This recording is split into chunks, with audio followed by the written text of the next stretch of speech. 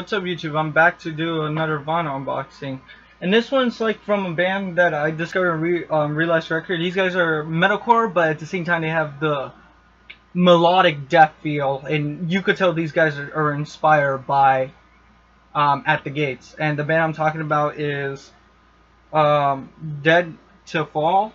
This is um, this is everything I touch falls to pieces. Um, to be honest, the band name is kind of alright, but this is pretty fucking awesome. I'm really happy I picked this up. They just reissued this for the first time on vinyl.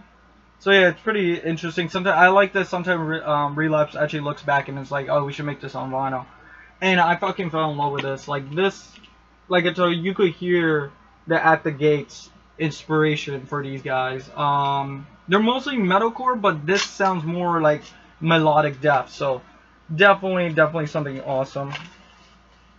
Definitely give these guys a try. These guys are pretty underrated. Even though, even they're on um, Victory Record, they're not really well known.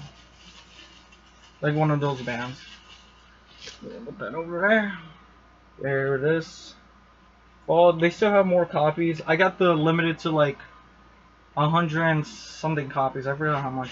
You, remember, remember what I said? Victory Records um, things about um, numbering their vinyls are kind of weird. You got a lyric sheet because every Victory record or vinyl has to have a lyric sheet. So that that. So here it is. We get a sticker, which is pretty cool, of the band. But uh, I'm not going to use it because this is just going to stay with the record.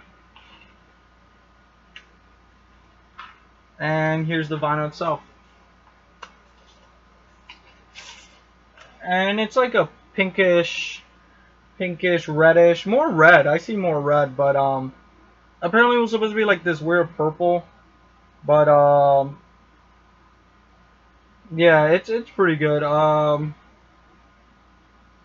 no, sorry, just got a message. Um, but yeah, this is pretty cool definitely give these guys a try. This one's limited to uh, a hundred and something. I, I forgot. Like it's like maybe 145, something like that. But this one's limited to like a hundred and something. But I had to get it because I enjoyed it. I like the other color slightly a bit more. Because I, I thought this was going to be like a purplish, marvelish one, but turned out to be like more red. But definitely give these guys a try if you want to give some new bands a try. So yeah, I hope you guys enjoy this, and you guys enjoy this, and just let me put it here.